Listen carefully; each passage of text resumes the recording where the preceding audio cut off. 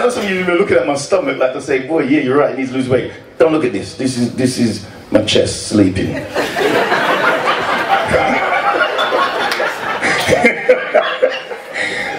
you can use that, some guys, somehow. You can use that as my chest sleeping. You know, wake up, mm. go sleep. but no, I used to didn't like my stomach. I didn't used to like my stomach, but I love my stomach. My stomach is my best friend. This belly is my best friend. You see this belly?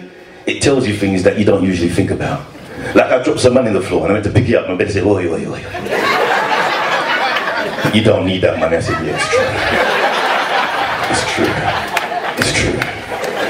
I was running for a train. I was, I'm like, my belly said, wait, wait, wait. It's one in two minutes. You don't need to run. You don't need to.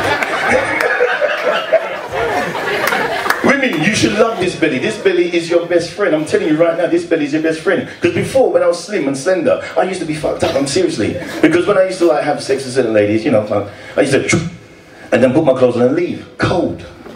But this belly is your best friend. When I the belly say cuddle up, cuddle up. There might be breakfast in the morning.